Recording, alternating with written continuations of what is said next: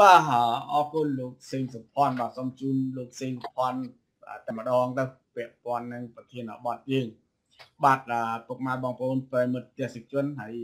លោកសេងសុផាន់ដឹងហើយថាទំនាក់ទំនងខ្មែរយើងជាមួយនឹងយួននោះគឺមានយូរអង្វែងណាស់មកហើយហើយសំបីតែគណៈបកប្រជាជនហ្នឹងក៏បង្កើតឡើងដោយមេដឹកនាំយួនដែរពីហើយ ឥឡូវនេះស្រាប់តែយើងឃើញលោកហ៊ុនសែនក៏ដូចជាលោកហ៊ុនម៉ាណែតនឹងងាកមកចាប់ដៃរាជាមួយចិនយ៉ាងណែនមែនតើគេហៅថាមិត្តដៃថែបណាខ្ញុំចង់ឲ្យលោកសេងសុភ័ណ្ឌអឺមានចំណាប់អារម្មណ៍ពាក់ព័ន្ធនឹងមិត្តភាពរវាងយួននិងចិនហ្នឹងតើវាអាចមាន បញ្ហាអ្វីខ្លះទេនៅពីក្រោយខ្នងមិត្តភាពហ្នឹងខ្ញុំចង់សួរថាតើតើយួនពេលដែលដែលដែលឃើញហ៊ុនសែនពេលដែលឃើញហ៊ុនម៉ាណែតទៅចាប់ចិនយ៉ាងស្និទ្ធអញ្ចឹងតើយួនអាចមានអារម្មណ៍ថាខឹងជាមួយនឹងរបបក្រុងភ្នំពេញឬក៏ចង់យ៉ាងម៉េចយ៉ាងណាទេគឺពីប៉ុណ្ណាទៅអរគុណហ្នឹងហើយធានបត់នេះខ្ញុំចង់បញ្ជាក់ចេះថានៅពេលដែល មានការតវ៉ារឿងព្រែកជីហ្វូណាន់នេះគឺចលនាពីខាងក្នុង ជាពិសេសព័ត៌មានដើម7ព័ត៌មានដើមចេកព័ត៌មានដើមលហុងនៅស្រុកខ្មែរយើងណាគឺកំពុងតែបង្កើតចលនាជាតិនិយមខ្លាំងមែនទែនដោយថាពួកគេគឺបន្ទោសទៅលើវៀតណាមមិនត្រូវមកជាតិជ្រែករឿងផលប្រយោជន៍ខ្មែរទេ ហើយបានភ្ជាប់វៀតណាមទៅនឹងអាមេរិកកាំងបាទ នេះគឺជាចលនាជាតិនិយមហើយបើសិនតែចលនានេះមានកម្ដៅតទៅទៀតណាគឺជាការអុចអាលមួយដ៏ធំដ៏គ្រោះថ្នាក់ហើយយើងឃើញថាខ្មែរយើង មានការសិក្សារៀនសូត្រចេះតិចណាស់ក្នុងការឃ្លាកទៅក្នុងអន្ទាក់នៃនយោបាយបកកុម្មុយនីសយើងដឹងថាវៀតណាមក្តីចិនក្តីពួកគេគឺជាមេដឹកនាំប្រទេសកុម្មុយនីសដោយតែប្រទេសកុម្មុយនីសគឺល្បិចកលគឺអត់មានការស្មោះត្រង់ទេ មិនបានហ៊ាននិយាយអញ្ចឹងព្រោះថាប្រទេសប្រជាធិបតេយ្យកាលណាគេនិយាយគេធ្វើគេមានប្រព័ន្ធតលយភាពអំណាចគឺសារពួកមានគេឯករាជ្យប្រជាពលរដ្ឋគេអាចធ្វើសវនកម្មបានដូច្នេះមានមានការខូចខាតឬក៏មានការឆក់ល្វែងឬក៏បោកបញ្ឆោតតិចណាវាមានដែរតែវាមិនតិចតែបកុំនេះគឺអត់តែម្ដងខ្ញុំនិយាយខាងដើមអញ្ចឹងគឺប្រវត្តិសាស្ត្របានអឺ បានអឺអឺរើឡើងវិញដូចខ្ញុំបានធ្លាប់និយាយឲ្យប្រវត្តិខ្មែរក្រហមប៉ុលពតខ្លួនឯងនេះ បានទៅជួបម៉ៅស៊ីបានទៅជួបហូជីមិញចំនួន3ខែដើម្បីរៀនសូត្រអំពីការតស៊ូវណ្ណៈអធនបាទចំនួន3ខែជាមួយហូជីមិញហ្នឹងបានហូជីមិញហ្នឹងឲ្យធ្វើដំណើរបន្តទៅទៀតដើម្បីទៅជួបម៉ៅស៊ីតូនិងជូអិនឡាយយើងឃើញទេ នេះគឺគឺជាអ្វីដែលយើងឃើញជាក់ស្ដែងថាគណៈបកកម្ពុជាប្រជាធិបតេយ្យហ្នឹងគឺគណៈបកពលករខ្មែរដែលបង្កើតឡើងដោយវៀតណាម ដើម្បីតស៊ូជាមួយបារាំងហើយគណៈបកនឹងទៅជាគណៈបកកម្ពុជាប្រជាធិបតេយ្យហើយមកជាគណៈបកប្រជាជនសពថ្ងៃនេះគឺគឺមកពីប្រភពតែមួយហើយវាជាដំណើររឿងតែមួយទេប៉ុន្តែនៅពេលដែលយើងឃើញថា ខ្មែរក្រហមបានទៅចិត្តស្និទ្ធជាមួយចិននៅពេលដែលមកហូជីមិញខ្លួនឯងត្រូវការជំនួយចិនដើម្បីតស៊ូប្រជុតជាមួយអាមេរិកកាំងគឺចង់និយាយថាសត្រូវតែមួយទេគឺអាមេរិកកាំងចំណុចចំណុចនេះយើងឃើញថានៅពេលដែលវៀតណាមគេបានឈ្នះអាមេរិកកាំង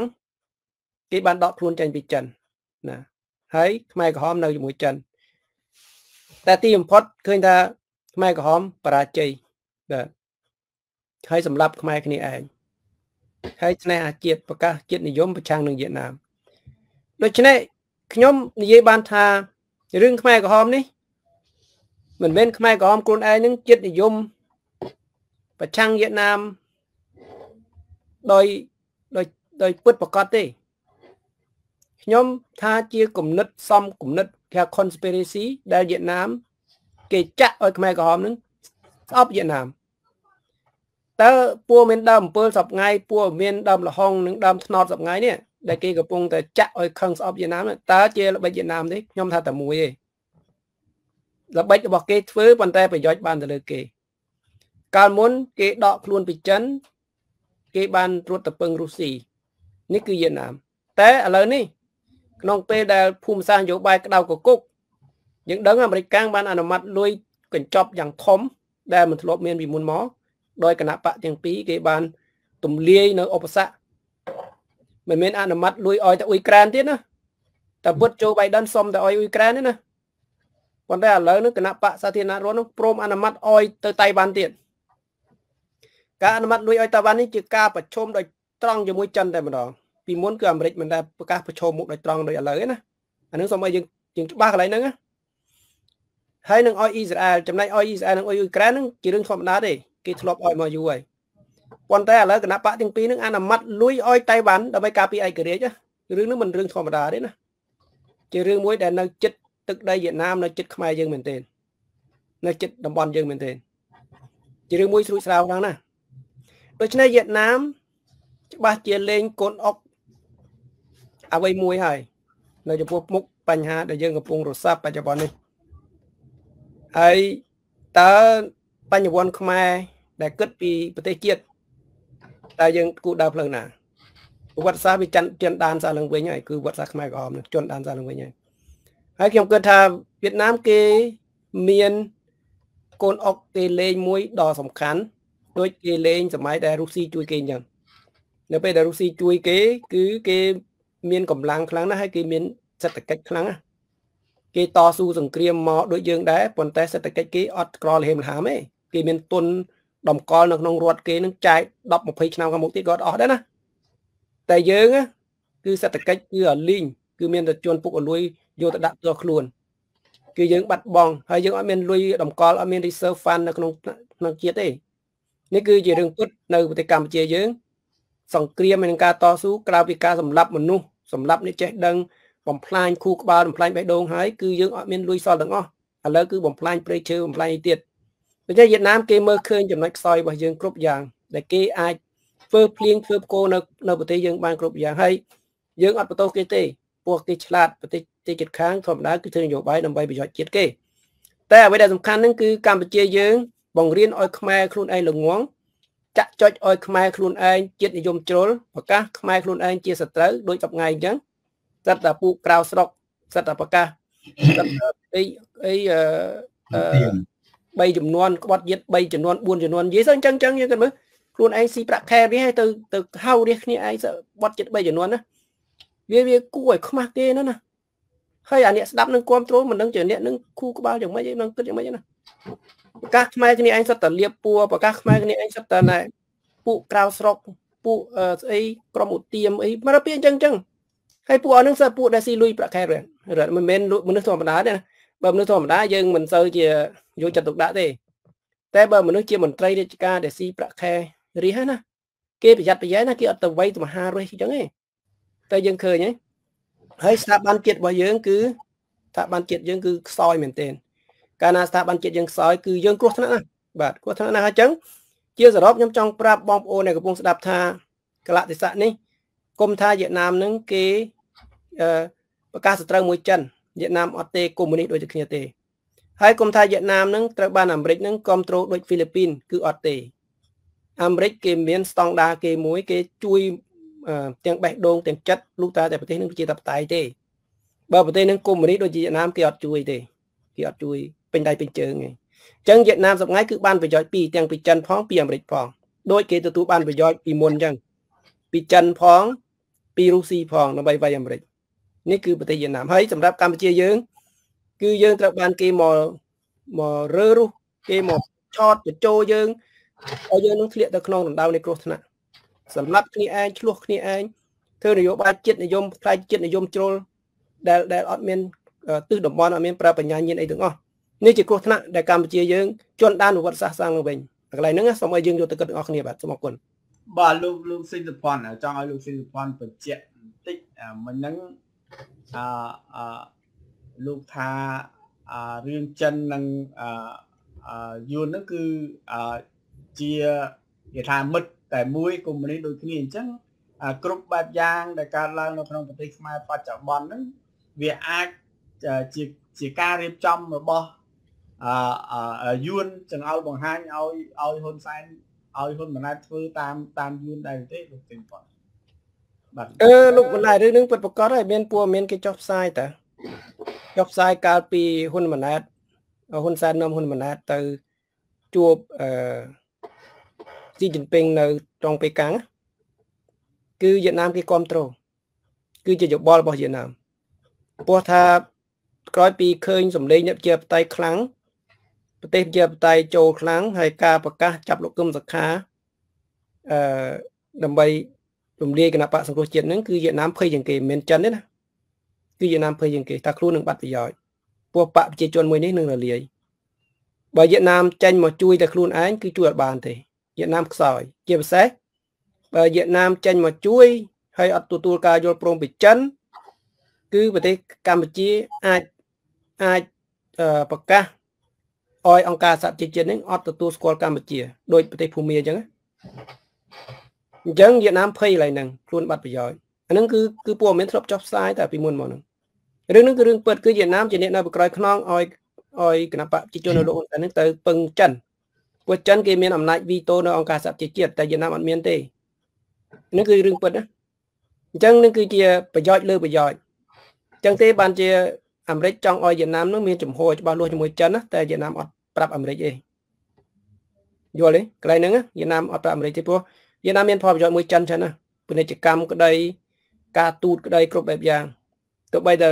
អត់ពេញចិត្តចិនប៉ុន្តែគេរស់ដើម្បីរកឱកាសដោយគេធ្លាប់ធ្វើក៏ពីមុនមកអញ្ចឹងនឹងគឺជានយោបាយយុទ្ធសាស្ត្ររបស់វៀតណាមមេដឹកនាំវៀតណាមគ្រប់រូបគេអត់ដូរប្រទេសគេពីកុម្មុយនីសទៅប្រជាធិបតេយ្យហើយក៏គេមិនប្រឈមមុខតទល់ជាមួយចិនដែរ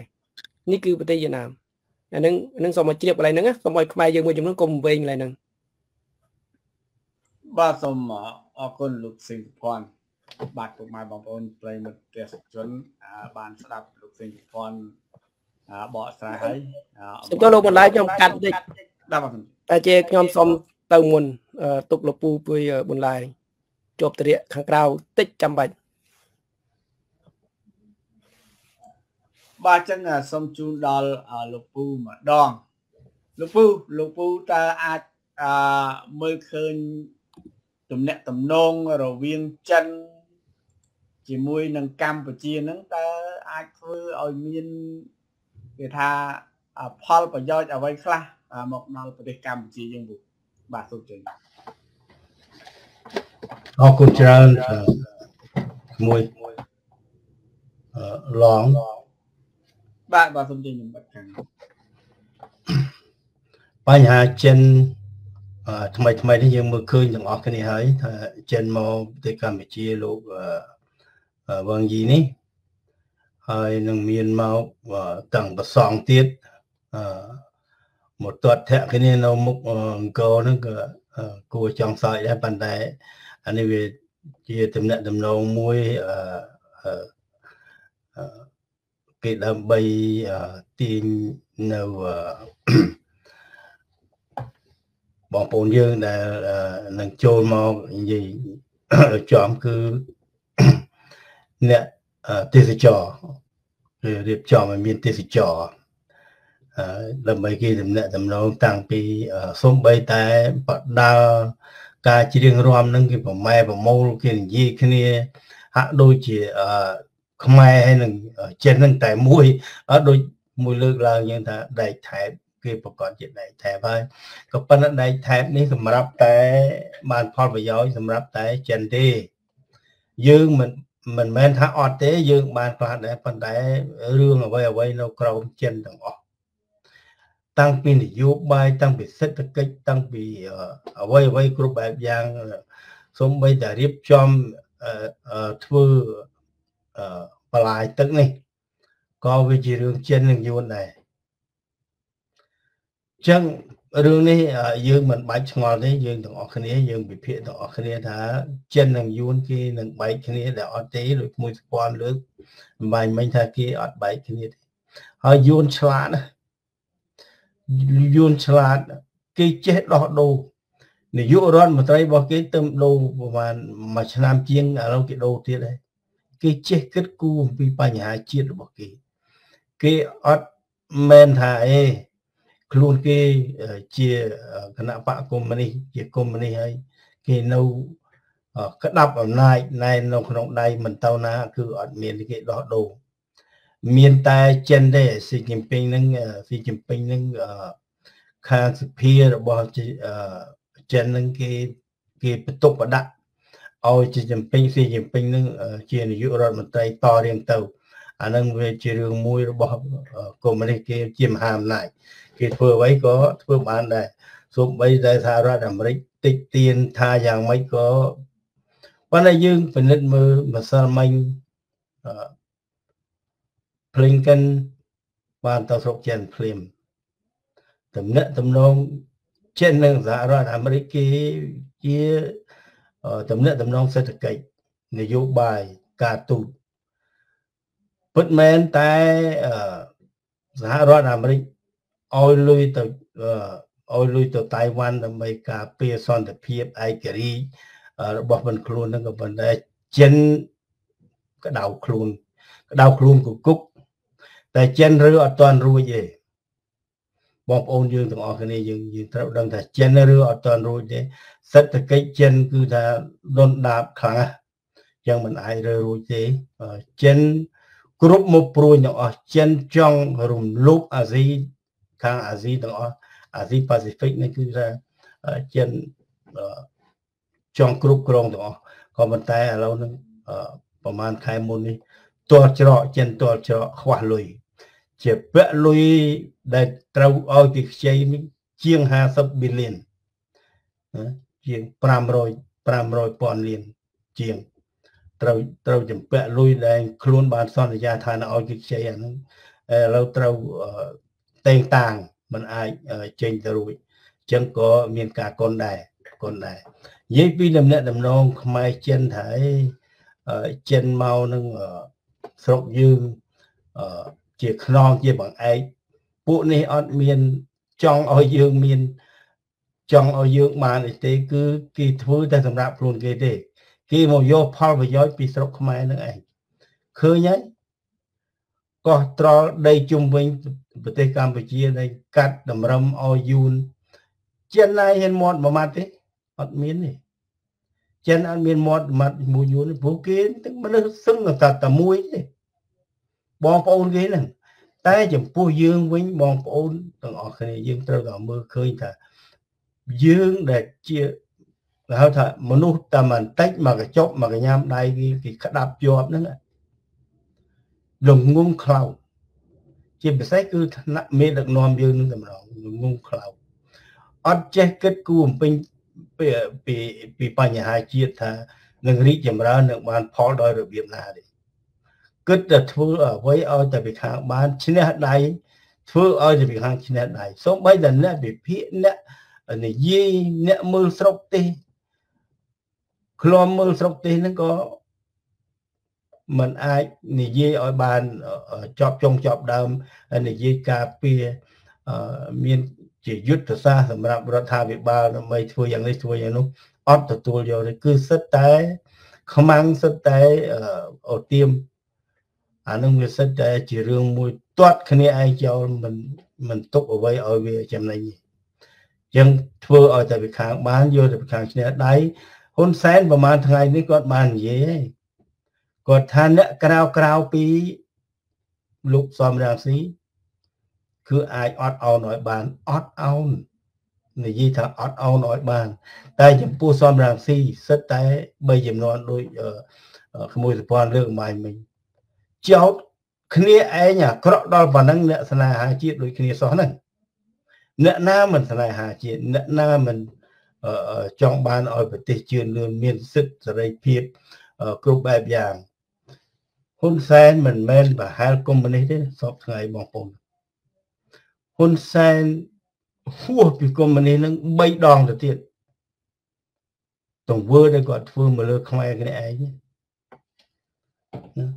បងប្អូនគិតមើល3លានផ្លាយ3លានជាងបងប្អូនយើងដែលត្រូវឃ្លាតចាកពីស្រុកនារទេសខ្លួននិរទេសខ្លួន មិនដឹងថ្ងៃណានឹងត្រឡប់ទៅវិញបាន បាត់ស្រុកបាត់ទេសបាត់កូនបាត់ចៅព្រាត់ប្រាសនេះរាជគឺធ្វើយ៉ាងណាឲ្យតែបងប្អូនយើង មានទុកវេទនានឹងម្ដងអត់កើតទុកពីរឿងជាតិរឿងសាសនាអីប្រហែលទេបើគោរពស្ដេចវិញគោរពសាសនាវិញគ្រាន់តែធ្វើលុំលុំដើម្បីយកមុខទេប្រកបណាស់គឺគ្រាន់តែយកលុំលុំយកមុខទេអត់មានលោកពូអា ក្មួយអាសុំសួរលោកពូបន្តិចព្រោះមិញហ្នឹងក្មួយស្ដាប់ឮលោកពូមានប្រសាសន៍ថាអាហ៊ុនសែនបានអាប្រកាសក៏ដូចជាអំពាវនាវថាឲ្យខ្មែរអ្នកណាអាស្នេហាជាតិទាំងអស់ហ្នឹងចូលត្រឡប់ចូលទៅស្រុកវិញទៅហ៊ុនសែនមិនយកទោសយកពៃអីទេលើកលែងតែករណីរបស់លោកប្រធានសំនឹងស៊ីមួយគឺហ៊ុនសែនមិនលើកលែងឲ្យទេ លោកពូអើតើលោកពូអាចជឿហ៊ុនសែនបានប្រមាណភាគរយដែរថាអ្វីដែលហ៊ុនសែននិយាយនេះគឺជាការពិតពេលដែលមានដែលអឺ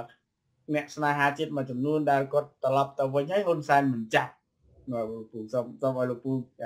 ជួយចាប់អារម្មណ៍ឡើងនេះបន្តិចមើលលោកពូបាទសូមជឿលោកពូហ៊ុនសែនហ៊ុនសែនមនុស្សមានល្បិច គាត់មានល្បិចច្រើនណាស់ល្បិចខាងធ្វើទុកបុកម្នេញអ្នកណាដែលហ៊ានទៅជែកដែលមិនជឿគាត់និយាយអំពីភាពត្រឹមត្រូវហើយអួតខ្លួនថាប្រជាធិបតេយ្យឯហ្នឹងប្រជាប្រជាធិបតេយ្យតាមាត់តទេហ្នឹងហ៊ុនសែនធ្វើអ្វីធ្វើមែនតើយើងយើងឃើញគាត់ធ្វើមែនប៉ុន្តែគាត់មិនមែនធ្វើសម្រាប់ជាតិគាត់ធ្វើបំផ្លាញគ្នាឯង គាត់បំផ្លាញគ្នាឯងគាត់ថាដូចជាពោចជាពោចទៅសុំទោសហ៊ុនសែនបាននិយាយខុសនិយាយអីដែលគណៈបក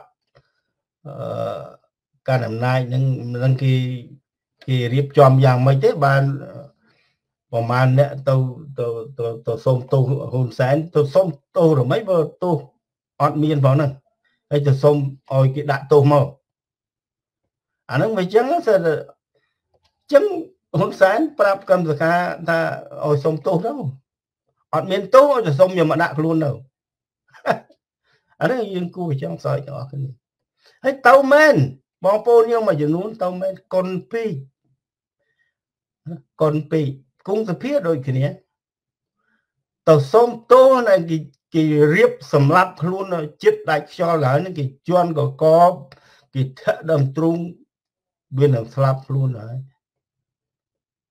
លប់ទៅសុំទោសវិញថាទៅមើលឪពុកម្ដាយអីចឹងទៅអានេះមិនគួរនិយាយដើមទេក៏ប៉ុន្តែអឺជាជាជាកតញ្ញូណាដែលយើងទៅមើលឪពុកម្ដាយក៏ប៉ុន្តែយើងអ្នកបំរើជាតិយើងជាអ្នកនយោបាយយើងត្រូវគិតដោយមិនមែនបន្ទោសទេប៉ុន្តែត្រូវគិតឲ្យបានជ្រៅជាងនឹង យើងកុំធ្វើសើសើ4 10 20ឆ្នាំចង់ស្លាប់ខ្លួនហ្នឹងលប់ទៅសុំទោសអានេះមិនបន្ទោសគ្នាឯងណាប៉ុន្តែឥឡូវត្រូវបន្ទោសត្រូវបន្ទោសយើងមិនបាច់ទៅសុំទោសគេយកមកដាក់ខ្លួនទេបើអត់មានទោសបើអត់ឆ្លាស់អញ្ចឹងទៅ មានប្រមាណស៊ីប៉ុណ្ណឹងទៅហើយមនុស្សគង់តែស្លាប់ទេគុំថាអូនណាអូនណីខ្លួនឯងត្រូវតែស្លាប់ដូចគ្នានេះឯង ចឹងបងប្អូនទាំងអស់ខ្ញុំមិនមែនពមៀនទេក៏ប៉ុន្តែយើងត្រូវតែពិចារណាឲ្យមែនតែនណាយើងយកគំរូអ្នកណាដែលរឹងប៉ឹងហ៊ាននិយាយហ៊ានស្ដីលោកលោកសង្សានករណាឥឡូវដល់ទៅអូស្ត្រាលីបាត់ហើយមិនតិចទេតាមខ្ញុំស្ដាប់មើលទៅសង្សានករណាបើសិនជាចុះចូលដល់យ៉ាងម៉េចមួយសង្សានករណាក៏អាចមាន មានស័កពៈនៅលើស្មាទៀតនោះយើងធ្វើថ្លែងកន្លែងនោះប៉ុន្តែមនុស្សដែលមានឧត្តមគតិផ្សេងពីគ្នា គិតគូរអំពីបញ្ហាជាតិគឺគេគេមិនអាចធ្វើទៅកើតធ្វើទៅមិនបានហ្មងអានឹងធ្វើទៅមិនបានអញ្ចឹងតែម្ដងអញ្ចឹងមួយចង់បន្ថែមមួយទៀតសំណួរបាទសូមអរគុណលោកពូ បាទពុកម៉ែបងប្អូនប្រិមិត្តទេសនិកជនបាទអឺពាក់ព័ន្ធនឹងករណីយួនហើយនឹងចិនដែលកំពុងតែមានទំនាក់ទំនងល្អជាមួយនឹងប្រទេសកម្ពុជាជាមិត្តដែលថែបហ្នឹងគឺអឺទាំងយួនទាំងចិនហ្នឹងគឺសុទ្ធតែអឺប្រើល្បិចណាប្រើល្បិចដើម្បី ធ្វើបាបខ្មែរដើម្បីសម្លាប់ខ្មែរទាំងអស់ដោយយកហ៊ុនសែនហ្នឹងគឺជាជាកូនអុកដើម្បីប្រើប្រើធ្វើបាបធ្វើទុកបុកនឹងខ្មែរហើយបើយើងនិយាយដល់ហ៊ុនសែនយើងនឹកឃើញអស់សំណើចនេះលោកពូអស់សំណើចត្រង់ដែលថាហ៊ុនសែនថាលោកប្រធានសំរងស៊ីនឹងអាពូជក្បត់ជាតិរហូតដល់3ចំនួន 3ចំនួនហើយខ្ញុំវាមិនដែលឃើញលោកប្រធានសំរងស៊ីទៅធ្វើអីមួយដែលបញ្ជាក់ថាកូនក្បត់ជាតិវាអត់មានណានេះយើងនិយាយជាសច្ចភាពយើងនិយាយជាជាយុទ្ធធម៌ទាំងអស់គ្នាណាលោកពូក្មួយថាជាអ្នករស់នៅក្នុងប្រទេសកម្ពុជាហើយហើយក្មួយបានមិនត្រឹមតែរស់នៅក្នុងប្រទេសកម្ពុជាទេក្មួយបានប្រឡូក ជាមួយនឹងគណៈបកប្រឆាំងនេះតាំងពីឆ្នាំ2006មកដែលដឹកនាំដោយលោកប្រធានសំស៊ីខ្ញុំអត់ដែលឃើញលោកប្រធានសំស៊ីទៅប្រព្រឹត្តឧបាយអមុខស្អីមួយដែលធ្វើឲ្យប៉ះពាល់ដល់ផលប្រយោជន៍ជាតិខ្ញុំអត់ដែលឃើញលោកប្រធានសំនឹងស៊ីទៅកាត់ដីទៅលក់នំឬទៅ ធ្វើស្អីដែលដែលធ្វើឲ្យខាត់បងដល់ផលប្រយោជន៍ជាតិខាត់អីក៏ក៏ក៏ហ៊ុនសែនចេះតែតែហាហាមាត់និយាយទៅរួចដោយដោយដោយដោយអត់អត់ខ្មាស់ខ្លួនឯងបើខ្ញុំគិតមកហ៊ុនសែនវិញគឺបានបានចំជាជាក្បត់ជាតិខ្ញុំខ្ញុំអាចហៅហ៊ុនសែនថា អាពូជក្បត់ជាតិពីរចំនួនហើយជារឿងពិតព្រោះយើងឃើញ ជាក់ស្ដែងកាលដែលសម័យហ៊ុនសែនដឹកនាំប្រទេសជានាយករដ្ឋមន្ត្រីហ៊ុនសែនក្បត់ជាតិក្បត់ជាតិលក់ដីលក់ព្រៃលក់អាគេអកទ្រព្យសម្បត្តិធម្មជាតិរបស់ខ្មែរខ្ទេចខ្ទីអស់ណាខ្មែរណាដែលចេះខ្មែរណាដែលហ៊ានងើបតស៊ូប្រឆាំងដើម្បីរកសិទ្ធិសេរីភាពជូនប្រជាពលរដ្ឋត្រូវបានហ៊ុនសែន ចាប់ដាក់គុកត្រូវបានហ៊ុនសែនសម្លាប់ចោលទៀតដោយលោកបណ្ឌិតកែមលីមើលអ្នកដែលស្លាប់នៅក្នុងរបបហ៊ុនសែនយើងឃើញមានលោកបណ្ឌិតកែមលីលោកឈុតវុធីលោកជីវិជាលោកស្រីពិសិដ្ឋពីលកាសុទ្ធតែមនុស្សឆ្នើមសុទ្ធតែមនុស្សល្បីសុទ្ធតែជាអអ្នកដែលហ៊ានដែលដែលមានទេពកោសល្យដែលមានស្នាដៃអាចបំរើជាតិ អាចជួយជាតិឲ្យឲ្យរីកចម្រើនឲ្យធំត្រាងបានប៉ុន្តែដោយសារតែលោកហ៊ុនសែនជាមនុស្សដែលភ័យខ្លាចបាត់អំណាចខ្លាំងពេកហ្នឹងហ៊ុនសែនត្រូវបានសម្លាប់ពួកគាត់ចោលទាំងអស់ហ្នឹងសម័យហ៊ុនសែនយើងឃើញសម្លាប់ដល់ពេលសម័យមួយចំនួនទៀតរបស់អាអាហ៊ុនម៉ាណែតនេះក៏យើងឃើញថាដឹកនាំប្រទេសធ្វើឲ្យខ្មែរអា អាលលាយដែរណាធ្វើធ្វើឲ្យខ្មែរហិនហោចលលាយមកយើងនិយាយអញ្ចឹងបណ្ដាព្រោះមករយៈក្រោយនេះយើងឃើញហ៊ុនម៉ាណែតដឹកនាំប្រទេសណាបង្កើតឲ្យមានចោលបង្កើតឲ្យមានក្រុមបោកបង្កើតឲ្យមានអឺគ្រប់សពបែបយ៉ាងដែលប្រមូលលុយពីប្រជាពលរដ្ឋមិនថាអ្នកមានអ្នកក្រអ្នកក្រគឺបោកប្រាស់ប្រជាពលរដ្ឋបាទហើយហ្នឹងខ្ញុំមើលទៅឃើញច្បាស់កន្លងថា ពូជហ៊ុនសែននេះគឺជាអាពូជក្បត់ជាតិពីរចំនួនក្បត់ជាតិពីរចំនួនណាឃើញច្បាស់ហើយប្រជាពលរដ្ឋខ្មែរមួយណាដែលថាដែលដែលមិនគិតឃើញមិននឹកឃើញថាហ៊ុនសែនជាជនក្បត់ជាតិរហូតដល់ពីរចំនួនណាបាទហើយខ្ញុំសូមជូនព័ត៌មានមួយទៀតដែរឲ្យឲ្យពុកម៉ែបងប្អូនបានដឹងដែរមានបងប្អូនយើងនៅខាងគណៈបកប្រជាជនគេថាឆ្អិនឆ្អៅផ្កាប់មុខណា ឥឡូវនេះគាត់បានញាក់ខ្លួនខ្លះហើយដោយសារការដឹកនាំរបស់ហ៊ុនម៉ាណែតហ្នឹងបង្កើតឲ្យមានការអឺបោកប្រាស់អឺប្រជាពលរដ្ឋហ្នឹងហើយមានបងប្អូនគណៈបកប្រជាជនមួយចំនួនហ្នឹងគាត់ចាប់ដើមមានអារម្មណ៍ថាហ៊ុនម៉ាណែតនេះអឺប្រហែលជាមិនមែនជាកូនរបស់ហ៊ុនសែនដូច បងប្អូនយើងមួយចំនួនចោតទេហើយខ្ញុំនិយាយនេះមិនមែនចោតទេណាខ្ញុំនិយាយតាមគេដែរព្រោះគេថាហ៊ុនម៉ាណែតនេះគឺជាកូនយួនហើយហ៊ុនសែនគាត់ធ្លាប់និយាយខ្លួនឯងដែរបាទអញ្ចឹងមានបងប្អូនគណៈបកប្រជាជនមួយចំនួនកំពុងសង្ស័យថាហ៊ុនម៉ាណែតនឹងប្រហែលជាកូនយួនហើយបានវាមកដឹកនាំប្រទេសវាអត់មានគិតពីផលប្រយោជន៍ខ្មែរសោះវាធ្វើបាបខ្មែររហូតណាគ្រប់សពបែបយ៉ាងអស់ឲ្យសំបីតែខ្មែរ រិះគន់រឿងយួនដូចបងមួយនៅម្លៃគ្រាន់តែនិយាយប៉ះពាល់យួនទីគេចាប់ទៅដាក់គុកទៀតណាហើយនិយាយចំគឺហ៊ុនម៉ាណែតគឺគឺធ្វើការអឺសាហាវជាងអ៊ំមួយទៀតណាធ្វើបាបខ្មែរសាហាវជាងអ៊ំមួយទៀតហើយយុទ្ធសាស្ត្រដើម្បីបំរើប្រជាពលរដ្ឋដើម្បីកសាងប្រទេសជាតិដូចយើងមិនឃើញមានយុទ្ធសាស្ត្រអីទេ មានតែពាក្យបោកប្រាស់ មានតែពាក្យអឺដោះសារណាលោកលោកពូបានឃើញហើយពាក់ព័ន្ធនឹងរឿងមេមន់មិនហ៊ានសម្រាប់មេមន់នេះទុកមន់ឲ្យចែកឲ្យពងចែកគ្នាហូបចែកគ្នាញ៉ាំបាទបាទចឹងលោកពូដោយសារពេលវេលាយើងក៏ជិតដល់បិទបញ្ចប់កម្មវិធីដែរអឺតើមានយុទ្ធសាស្ត្រអីពូ អាចនិយាយប្រាប់ពុកម៉ែបងប្អូនប្រជាពលរដ្ឋយើងទីដើម្បីឲ្យកិច្ចខ្លួនរួចពីរបបផ្ដាច់ការដែលដឹកនាំដោយពូជក្បត់ជាតិពីចំនួននេះពុកបាទសូមជើញអរគុណច្រើនរឿងបញ្ហាហ៊ុនសែនហ៊ុនសែនហើយនឹងក្រុមបពពួកគាត់នឹងអាចអត់រើរួចទេគាត់មិនហ៊ានធ្វើអ្វីទាំងអស់ដើម្បីឲ្យ ឲ្យប្រទេសយើងខ្លាយទៅជាប្រជាធិបតេយ្យដល់ត្រឹមត្រូវគួសមមួយថាគួសមបានហើយណាឲ្យមានការបោះឆ្នោតអីត្រឹមត្រូវទៅធ្វើយ៉ាងម៉េច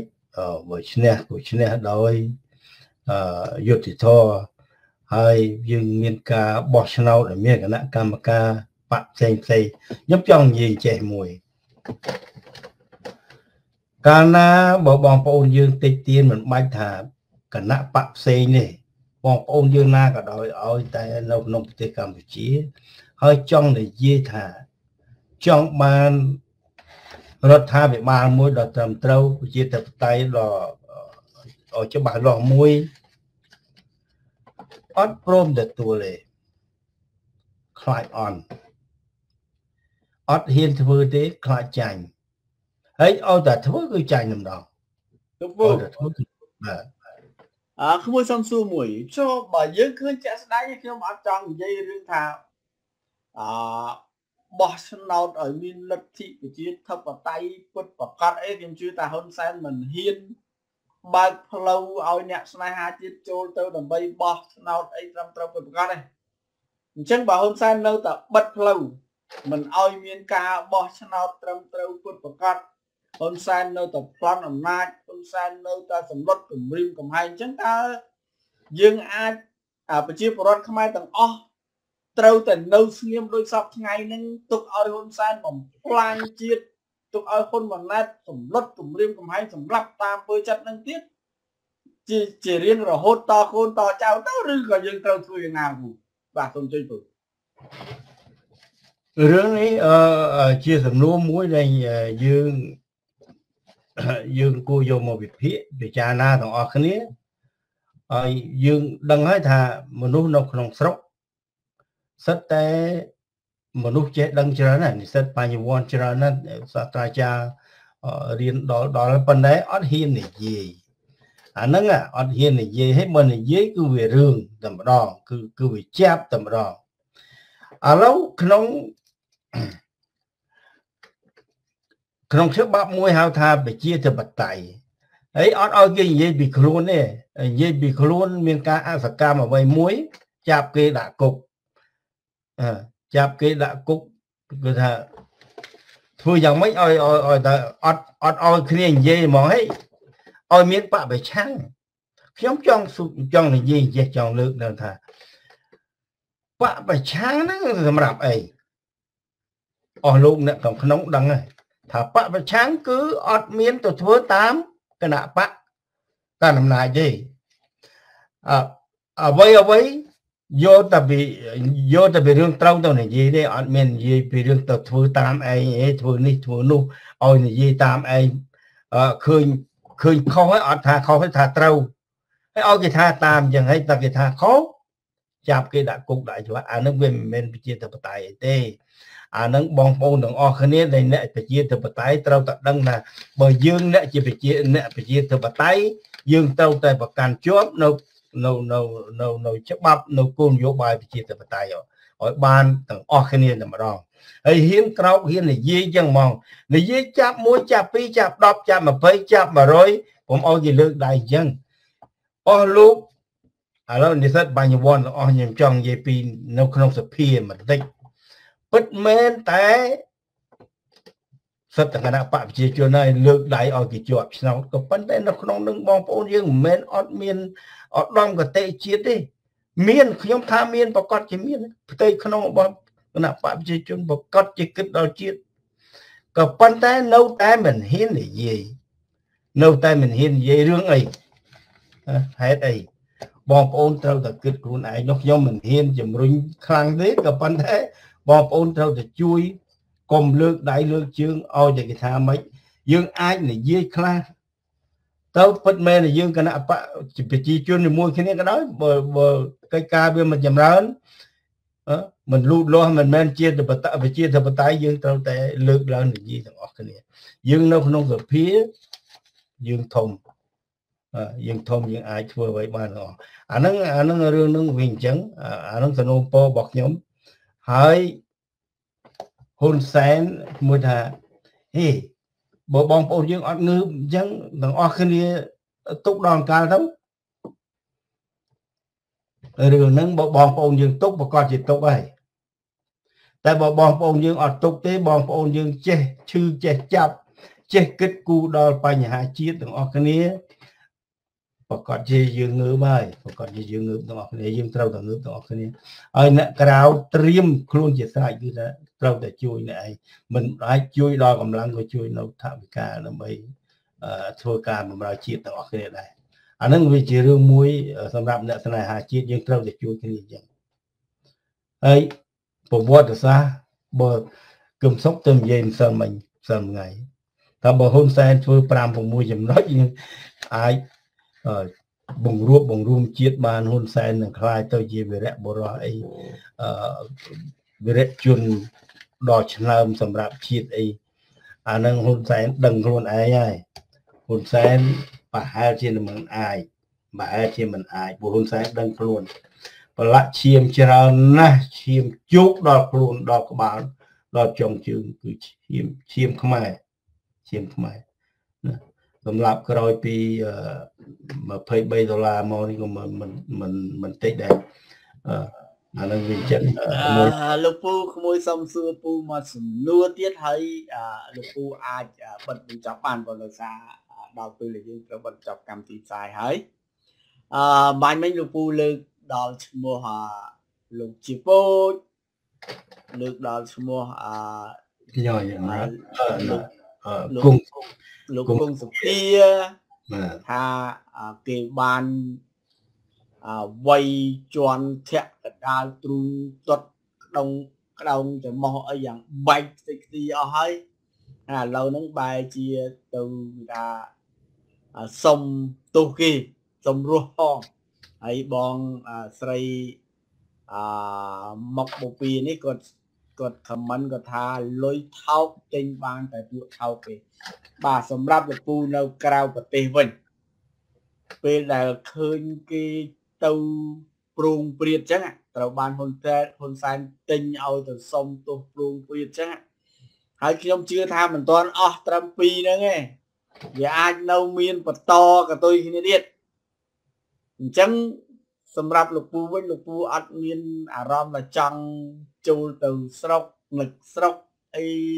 អត់ចង់សុំទោសសុំអីគេទេពូបាទសូមលោកពូជួយមកឆ្លើយមកចំណុចហ្នឹងហើយជួយបတ်ចាប់កម្មវិធីពូបាទជម្រាបខ្ញុំនិយាយចំនួនអ្នកទាំងពីរទៅតែពីរហ្នឹងបានហើយខ្លួនអត់មានទោសទេហើយទៅសុំទោសយកមកដាក់លើខ្លួនអាហ្នឹងធ្ងន់ណាធ្ងន់ណា អាហ្នឹងអ្នកយើងពិចារណាទាំងអស់គ្នាយើងអត់មានទោសអីសោះសម្រាប់យើងជាតំណាងរាស្ត្រនៅក្នុងសភាឯកឯកសិទ្ធិពេញពេញទីអត់មានអាណាប៉ះពាល់អត់មានអាណាចាប់អីទេហ៊ុនសែនចាប់យុទ្ធជនឆ្លីធាក់កដាលមុខទាំងអស់គ្នានេះខ្ញុំនិយាយចំនួនអ្នកទាំងពីរបន្តិចថាអឺ យើងគិតនឹងខ្លីពេកហើយយើងអត់ទោសហើយស្រាប់សុំទោសយើងមកដាក់ទៀតអត់ដូចខ្លួនទេណាអស់លោកមិនថាប៉ុណ្ណឹងទៅធាក់ប៉ុណ្ណឹងរួចខ្លួនទេណាឯងទៅសុំទោសមិនគេមិនថែមប្រមាថជើងទៀតហ่ะសំណាងល្អបើសិនជាហ៊ុនសែនថាអីឬក៏ម៉ាណែតថាអឺហើយមកហើយហើយឆ្កែទេមិនមែនមនុស្សទេអឺនេះ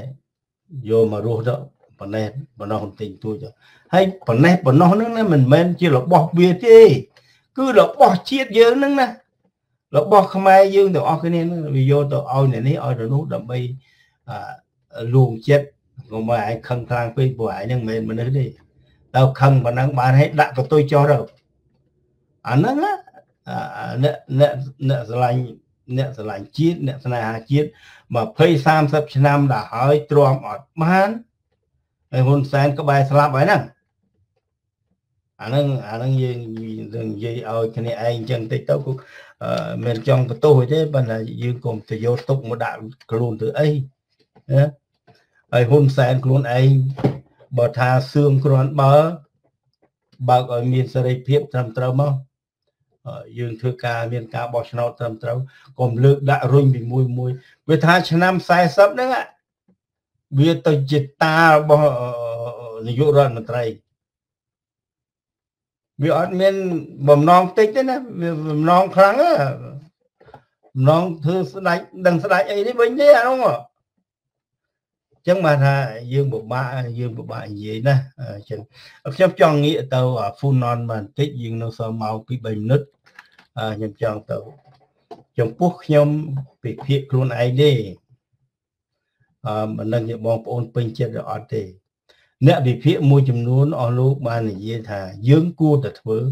ត្រូវជំនះធ្វើឲ្យបានខ្ញុំថាផលប្រយោជន៍នេះមិនមែនបានមកខ្មែរច្រើនប្រមាណទេ ពីព្រោះអ្វី1800លាន1800លាន ដុល្លារដែលត្រូវជាពាក់គេហ្នឹងគេត្រូវកាត់កាត់យក50ឆ្នាំ គេត្រូវប្រើប្រាស់ប្រេកជីកនឹង50ឆ្នាំមិនដឹងជាផលប្រយោជន៍នៅអនាគតនឹងបានប៉ុណ្ណាទេនៅក្នុងតំបន់នឹងពីព្រោះសពថ្ងៃនឹងយើងមើលឃើញហើយចិននៅរៀមនឹងនៅពេញឥឡូវនេះនេះកប៉ាល់កប៉ាល់ពីរគ្រឿងនៅនឹងនៅប្រចាំការនៅនឹងអាមេរិកកំពុងតែឆ្ងល់ ហើយមិនព្រមប្រាប់គេទៀតយួននិយាយពីយួនវិញយួនមិនមែនមិនសบายចិត្តទេក៏ប៉ុន្តែយួនធ្វើជាមិនសบายចិត្តយកបញ្ហាខ្លះដែលមកនិយាយអំពីបរិស្ថានសម្រាប់ដល់សិទ្ធិប៉ះពាល់ដល់ស្រុកគេកំដៅកំដៅប៉ុន្តែនិយាយពីរឿងបរិស្ថាននេះនោះអីយួនមិនមែនមិនសบายចិត្តទេបើ បើបើសិនជាខ្មែរជំនះធ្វើប្រេជីនឹងឲ្យបានយួនក៏បានផលប្រយោជន៍ចិនក៏បានផលប្រយោជន៍ចំពោះខ្មែរយើងឥឡូវមានប្រមាណណាយើងវិភាគទាំងអស់គ្នាខ្មែរមានសេដ្ឋកិច្ចប្រមាណនៃត្រូវដឹកទៅចិនទៅយួនដឹកតាតឡានអាធំវែងវែងហើយនឹងទៀសភ្លើងទិញទួយហ្នឹងវាអស់បាត់ដល់ហើយសេដ្ឋកិច្ចខ្មែរនោះមនុស្សមកគ្រាប់ហ្នឹងធ្វើស្អីហើយចំណែកធំធំមានតែដឹកចូលទេ ផលប្រយោជន៍របស់ជនជាតិដទៃអានឹងបងប្អូនវិភាគទាំងអស់គ្នាអានេះចំពោះខ្ញុំតែបើមិនបាច់ធ្វើក៏បាន តែបើធ្វើវាជារឿងមួយជំនះជំនះនៅពាក្យយួនថាអីចង់ផ្អាកកុំអោយធ្វើឲ្យមានការអសកម្មកុំអោយធ្វើអានឹងវាជារឿងមួយធ្វើដើម្បីជំនះយួនគាត់ឯចិនគេពេញចិត្តរឿងធ្វើណាស់ហើយចិនអ្នកអោជ័យលុយហើយច្បាស់ណាស់រឿង50ឆ្នាំ គេនិយាយកោកោក្នុងសារព័ត៌មានចឹងខ្លីៗប៉ុណ្ណឹងខ្ញុំប្រហែលជាអស់ដែរហើយតាមមើលទៅកិច្ចពិភាក្សារបស់យើងប៉ុណ្ណឹងខ្ញុំក៏មិនមែនបណ្ឌិតអ្នកពិភាក្សាធំធំអីដែរមិនអ្វីដែលយើងឃើញយើងយកមកពិភាក្សាគ្នាបាទសូមអរគុណលោកពូ